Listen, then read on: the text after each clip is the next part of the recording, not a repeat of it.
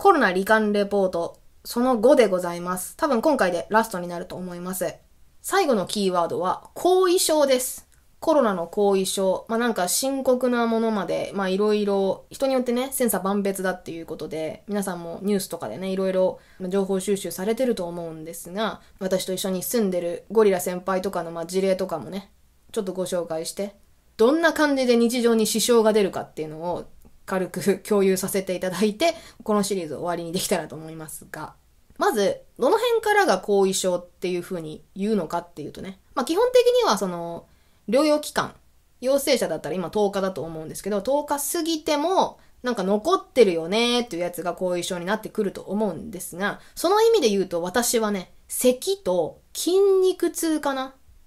で、えーゴリラ先輩はね、関節痛と筋肉痛って言ってたかな？筋肉痛が彼はすごいですね。で、しかもね、局所的なんですよ、彼の筋肉痛は。えーと、皆さん、自分のね、お尻、お尻の、えーと、なんていうの、付け根というか、お尻のすぐ下。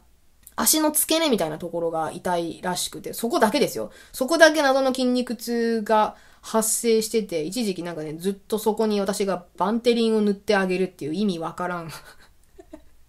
ことをやってたんですけど。私に毛だらけのお尻を見せてきて塗ってくれっていうのも、嫌だよって言ったんですけど、まあ、いやいや塗ってましたが、変わるのって言ったら結構、あの、効くって言ってて、そうですかって言ってたんですけど。なんでこんなあの、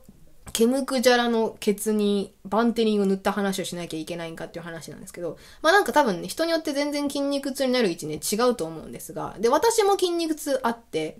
私はね、背中がめちゃくちゃ痛い。もう、背中が全面的に筋肉痛。なんか、背中のどっか一部、肩とか、あの腰とかじゃなくて、もう、なんか全部が全体的にビキビキビキビキ痛い、みたいな感じ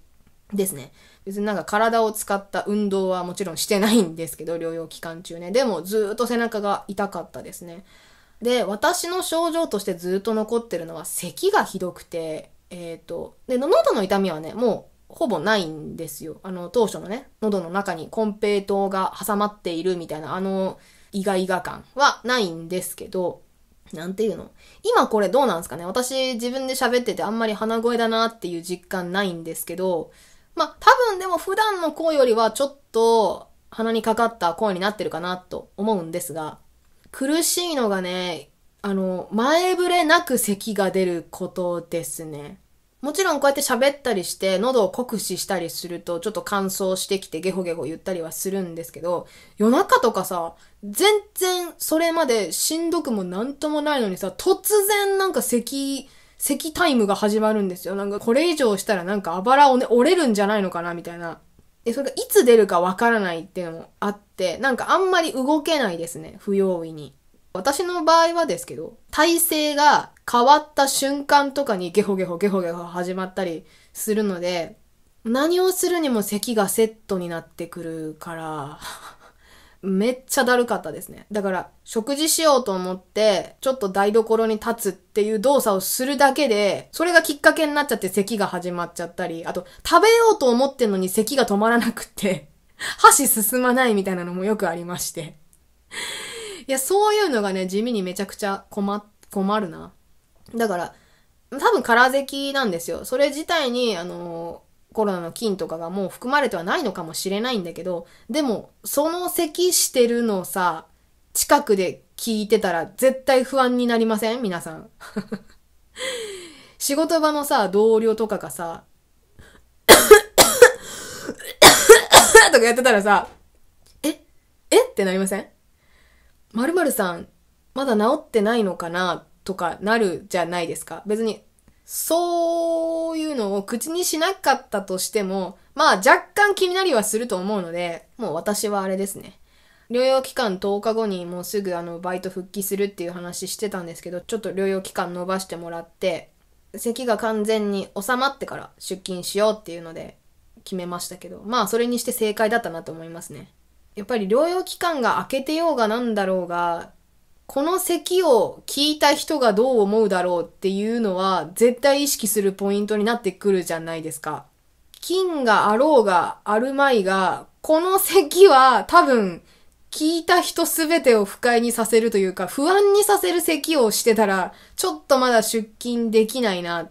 ていう風になってきちゃうので、そこはもうなんか無理せず、ちゃんと療養期間として当てた方がいいなってのは思ったので、なんか、これ以外にもさ、いろんな症状があると思うんですよ。まあ、それこそね、味覚とか嗅覚障害とかもあると思いますし、まあ、そういうのはさ、あの、外から見えにくいから、そのなんか周りを不安にさせるってのは少ないかもしれないんですけど、なんか、こう、物理的にもう見たらわかるとか、音聞いちゃったらわかるみたいな、ずっと鼻声とか、ずっと鼻水出てるとかいうのは、後遺症だって知らない人が見たらなんかちょっと不安になるんじゃないかなっていうのを本人が気にしちゃうっていう問題がやっぱりあると思うので、まあ難しいですけどね。そんなこと気にしてたらね、いつまで経っても仕事に行けないっていうのはあると思うんで、ある程度もなんか折り合いをつけなきゃいけない部分もあると思うんですけど、でも可能ならね、できることならちょっとギリギリまで療養期間伸ばすみたいなこともね、必要なのかなとは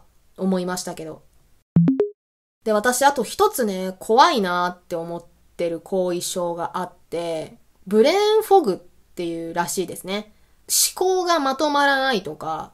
視力の一時的な低下とかなんかあるらしいじゃないですか。こう、物がちゃんと見えなくなっちゃうとか、考えられなくなっちゃうみたいなこととかがあるらしいので、それはすごく怖いな喉とかさ、筋肉痛とかってさ、まあほんと体に出てくる症状。だから局所的にその場所が痛いですねってのを本人が感じて辛いだけなんだけど、ブレーンフォグ、そのなんか思考力に関わってくることになるとさ、自分の今見てるものとか、自分の考えてることが信用できなくなってきちゃうと思うので、そこら辺になってくると、だいぶしんどいだろうなっていうのがあるので、もし症状として苦しんでおられる方がいるのであれば、ほんと無理しないでほしいし、で、そういうのやっぱりさ、なんか、見えにくいからね、外から見えにくいから、伝えにくいのかもしれないけどさ、やっぱ言ったがいいですよね、絶対。コロナになってからなんかちょっとおかしいんですっていうのは、発信していかないと、周りの人一生気づかないから、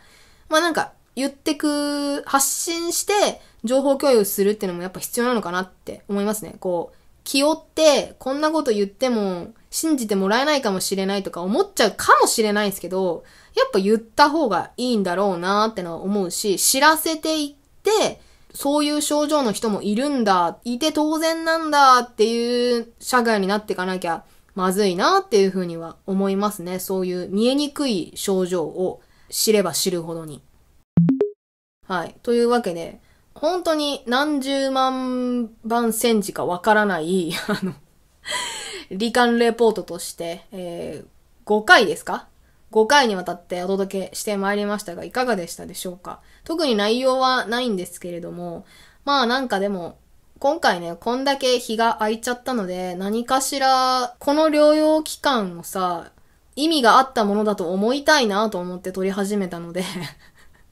何らかの形でアウトプットには残してえなって思ってたので、一応取れて満足はしているんですけど、もうすでにね、すでに喉が若干痛いので、今すぐに、あの お茶を飲みたいんですが、あ、そうだそうだ。でね、えっ、ー、と、実はですね、この療養期間入る前に、無理やりラジオを何回か収録したんですよ。でもその時の声っていうのはね、もう喉にコンペイトが入り始めてる時の声なので なんか、うーんみたいな、うーんとかなんかずっと咳払いしながら撮ってた ギリギリの状態で撮ったラジオがいくつかあるので、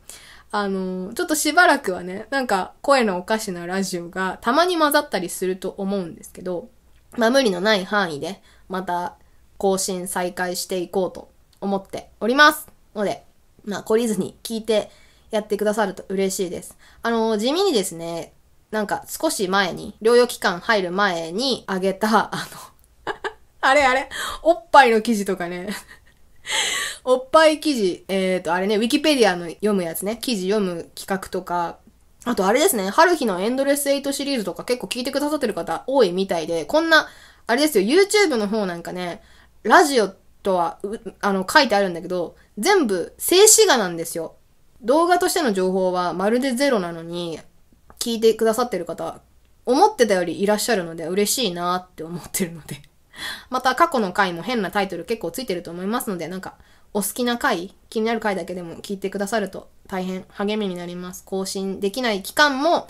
あ聞いてくれる方がいるんだなーって思うと、次の台本を書くのがね、すごく楽しみになってモチベーションが上がるので、はい。ぜひ聞いてやってくださると嬉しいです。もしよろしければね、感想などもお待ちしております。YouTube でしたらコメントで、Twitter でしたら、ハッシュタグ、チャコラジとつけていただくと、私がエゴサーチして、そのうち読むと思います。ので、よろしくお願いいたします。皆さんもね、ぜひ、体には本当に気をつけて、そして無理をなさらないで、あの、お過ごしいただければと思います。で、もしね、あの、症状が似てれば、あの、今回の私のなんかライフハック、も、